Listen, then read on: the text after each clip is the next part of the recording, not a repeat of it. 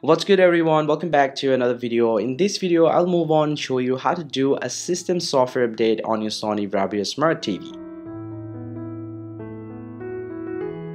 Now to do that, just go ahead and grab your remote and here as you can see I'm already in my home page. Now all you need to do just go ahead uh, to the top and find out the help option.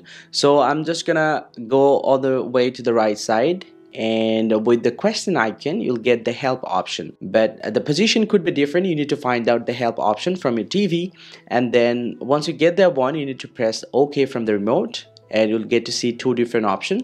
First one is the customer support and the iManual. We need to select the customer support and then press OK from the remote. And you'll get to see all the system information.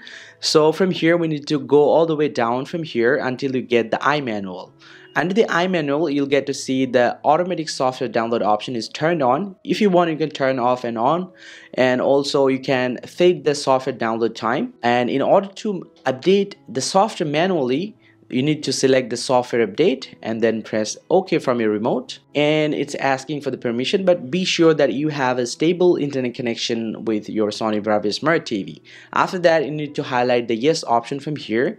Once you get that one you just go ahead and press OK and it will start scanning for the new version of the software. But for me it says the newer version not detected. I'm already up to date with the latest version of the software. So if you have any update available it's very easy to do. Just go ahead and download that one and your software will be updated on your Sony Bravia Smart TV. So guys, this is how you can do a system software update on your Sony Bravia Smart TV. Hope you find this video helpful. If you do, drop a like and subscribe to the channel. See you in the next one and thank you very much for watching.